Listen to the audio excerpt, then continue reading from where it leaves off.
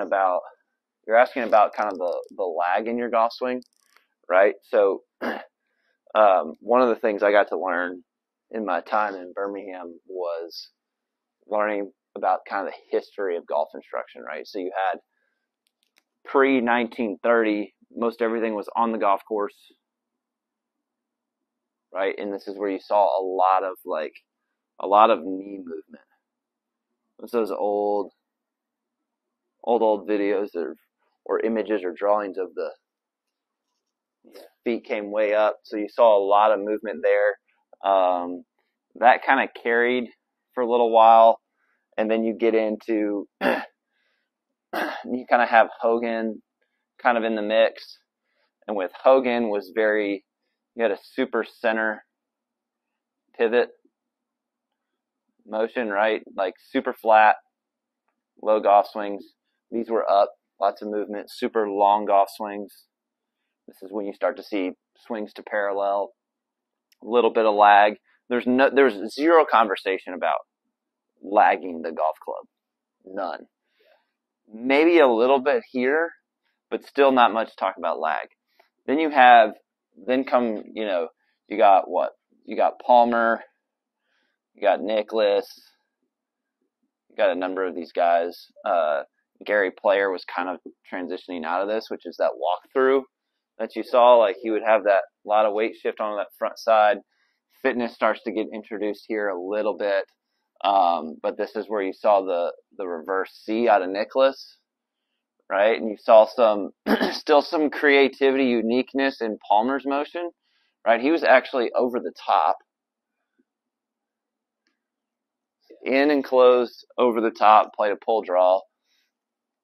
His bad shot was a hook, so he played a little soft cut uh, with that holding off finish. So this was one of those like really unique golf swings, right? That was kind of where you started to see some differentiation. Then you saw this transition into the 80s and 90s, and you had guys like Tom Purtzer. The guys on the tour said that he had the prettiest swing in golf. Go find any videos you want on Tom Purtzer. He has no lag at the bottom of his golf swing. Zero, not a zilch right? Freddie's in that category. So you have Couples and Couples is in here too, right? So you're seeing this shift and this change in golf instruction. Then you get, uh, so, uh, Ernie Els is kind of in this blending here. Um, now you're starting to see more rotation to show back up. So you've got a guy like Chip Beck shows up and in the late 80s, early 90s, they started teaching swing the arms to swing the body. Right? All these people over the top going like this, lunging with their chest. So we're just going to swing the arms and swing the body, and so the body just follows the arms. Yeah. Well, we know that's not true. Maybe, kind of, sort of. And so then you have Tiger it's kind of one of those transitions into a little bit of that lagging of the club head this way. Then you start seeing, because Phil has a little bit of that, but Phil's still back here, right? Then you have, um, you've got Phil, and then you start seeing guys start to come out. You got McIlroy, right? McIlroy in some ways is a more upright, but very, you're kind of back to Hogan. A lot of rotation. Seeing a lot of fitness show up here,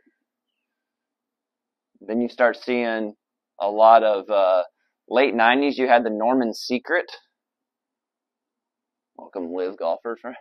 The Norman Secret. You've probably seen that device, right? It's that black thing that goes in the back of the hand. So we're teaching everybody to lag it, right? Your chips were all that way.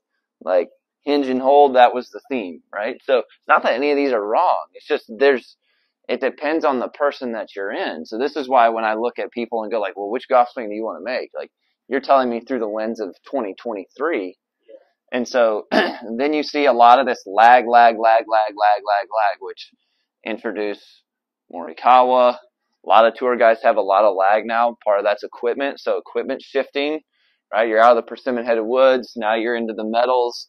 Now you're into, now you're carbon woods. And so all of that shifting spin rates change on the club. So equipment is starting to affect some of the golf swings you had to throw it, right? So when you have clubs that launch it low and spin it a lot, you kind of have to throw it to get the spin loft down. So there's lots of ways to manage it. Now, they didn't, we didn't talk about spin loft. We didn't talk about any of that stuff. Yeah. And you kind of don't need to. You just need to know what the ball does, right? So now we're into, um, now you're into force plates, right?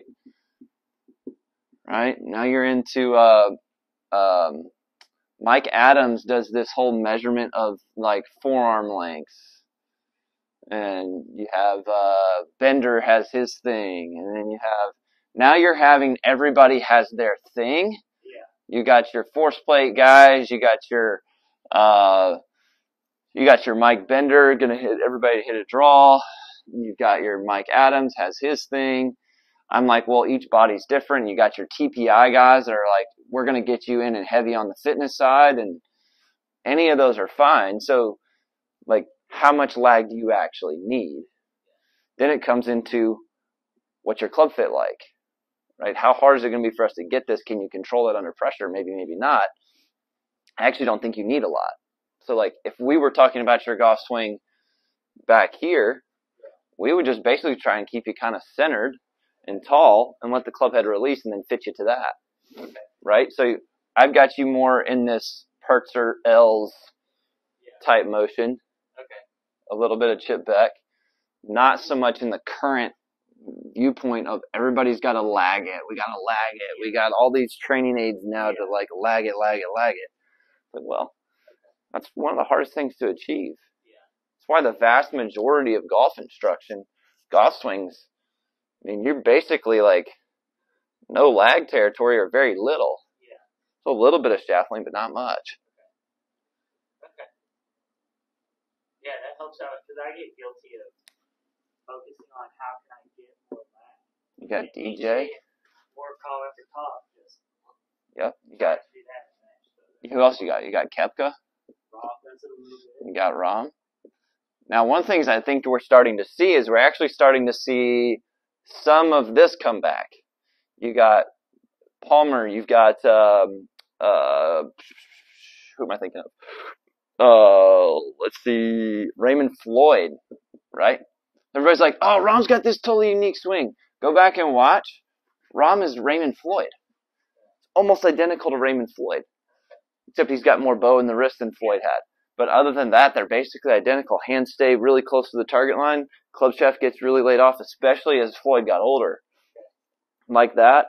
And then they transition almost the same. Same personality, same demeanor. Read about him in the World Golf Hall of Fame. You're like, are they talking about Jon Rahm or Raymond Floyd? So, like, when I'm looking at golf swings and when people ask me questions, I don't normally give them this context. They're like, wait, what? Yeah. That's Yeah. a lot. Yeah. Yeah, so when I'm looking at a golf swing, I'm pulling through like what trend. Uh, you've got uh, you got the A swing. That was one. There's a whole book on the A swing, right? That's the that's the this way, that way. That's the um, uh, Gankas, right? Gankas is basically an extreme version of the A swing. Yeah. That's all it is. Yeah. So that's what's kind of neat is which one do we need to make? What do you want the ball to do? And then we can deal with strategically how do we play with that? What does your fit look like? Okay. And that's where now that we're adding Scott Wilkerson to the equation, I'm like, hey, I need Tyler. I want him swinging like this. I'm gonna need something that's pro- I don't know what the shaft needs to be, but this is the motion I want him making. He's swinging the way I want it. I need you to fit to wherever on this spectrum we actually are. I. I have a player right now that I think needs a steel shafted driver. With an older head. Yeah. From a sustainability of movement standpoint. Is that right, wrong? I don't I don't know. Like it's as long as the pieces match, it doesn't matter where we're at on this Yeah. whole spectrum. Yeah. So for you, I think it's just staying center Yeah. and just picturing a shot and let your body hit it. Try not to be so specific with exactly where it needs to be. Okay.